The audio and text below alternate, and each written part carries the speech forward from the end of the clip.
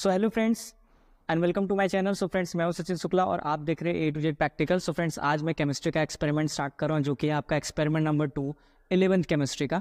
सो so, इसमें basically क्या है कि हम फ्लेम को डिटरमाइन करने वाले कि कितने टाइप के हमारे फ्लेम्स होते हैं जो हम प्रैक्टिकल और लैब में परफॉर्म करते हैं. सो so, बेसिकली एक चीज़ मैं बता दूँ कि हम जो लैब में फ्लेम परफॉर्म करते हैं वो दो टाइप के होते हैं. एक आपने ब्लू फ्लेम देखा होगा और एक आपने येलो फ्लेम देखा होगा. कभी कभी आपने घरों में देखे होंगे कि दो तरीके के फ्लेम हमारे गैस में से बर्न होने लगते हैं.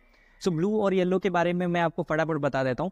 Blue flame basically yellow flame के बारे में पहले बता देता हूँ कि जब सफिशियंट अमाउंट ऑफ़ ऑक्सीजन नहीं मिलती ना, जो हमारे गैसेस होते हैं उनको बर्न करने के लिए ना तो येलो फ्लेम निकलता है। और जब सफिशियंट अमाउंट ऑफ़ उसको ऑक्सीजन मिल जाता है हमारे गैसेस को, जो हमारे गैसेस होते हैं प्रोपेन और ब्यूटेन उनको सफिशियंट अमाउंट ऑफ़ ऑक्सीजन मिल जाता है। मतलब जितना ऑक्सीजन चाहिए, अगर हम उतना दे दें तो वो ब्लू कलर में बर्न होता है। तो येलो को लिमिनियस फ्लेम बोलते हैं और ब्लू को क्या बोलते हैं? नो नॉन लुमिनियस फ्लेम और ब्लू को हम लोग ऑक्सीडाइजिंग फ्लेम भी बोलते हैं और येलो को हम लोग क्या बोलते हैं? रिड्यूसिंग फ्लेम भी बोलते हैं। So, सो चलो मैं कुछ फ्लेम्स आपको फटाफट दिखा देता हूँ फ़िलहाल। आप ये फ्लेम देख रहे हैं पूरा यहाँ पे दो नॉब्स लगे रहते हैं। अगर इस नॉब को आप इसके इक्वल कर देना तो ये तुरंत इसमें से गैस निकलने लगेगी। लेकिन आप अगर इसको ऐसा कर दे तो ये बंद हो जाएगा।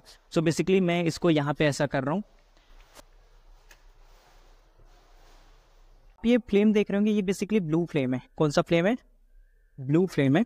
सो so, ये फ्लेम बेसिकली ब्लू क्यों है? क्योंकि आप देख रहे हैं एक नॉब है ठीक है? और यहाँ पे भी इसको बोलते हैं कॉलर ठीक है पहले मैं इसके बारे में बता देता हूँ। ये बेसिकली ये आउटर जोन होता है। इसके अंदर जो आप ब्लू वाला देख रहे हैं उसको इनर जोन बोलते हैं। ये बर्नर होता है। ये कॉलर होता है जिसको हम रोटेट कर सकते हैं। और ये बेस होता है और ये गैस पाइप होती है। अब यहाँ पे क्या होता है? ये जो कॉलर होता है ये इसको हम मूव कर सकते हैं ठीक है?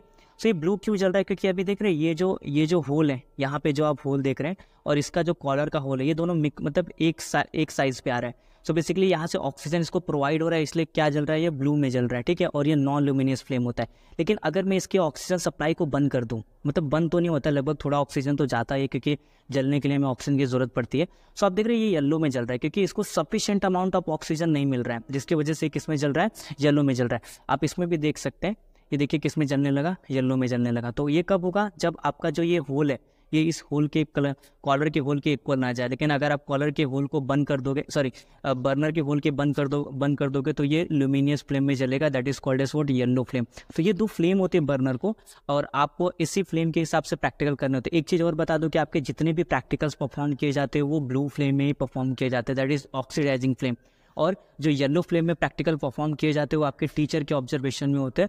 वो आपको टीचर्स बताता है कि कौन से आपके प्रैक्टिकल्स येलो फ्लेम में करने होते हैं। जैसे चारकोल टेस्ट हो गया, ठीक है? बहुत सारे ऐसे टेस्टेस होते हैं जो हमें येलो फ्लेम में करने होते हैं। लेकिन प्रैक्टिकल जो जितने भी ट्वेल्थ और इलेवंथ के प्रैक्टिकल होते हैं, वो लगभग ब्लू फ्लेम में किए जाते हैं। आप दोनों फ्लेम के डिफरेंसेस देख सकते हैं। यहाँ पे ऑक्सीजन सप्लाई बंद है और यहाँ पे ऑक्सीजन सप्लाई आप देख रहे हैं चालू है, ठीक है? वहाँ पे रखना। So thank you for watching this video and please friend please subscribe this channel और मुझे ऐसे ही ज़्यादा से ज़्यादा सपोर्ट कीजिए ताकि मैं आपके लिए बहुत सारे वीडियोज़ बना सकूँ। So for watching this video and please subscribe A to Z practical thank you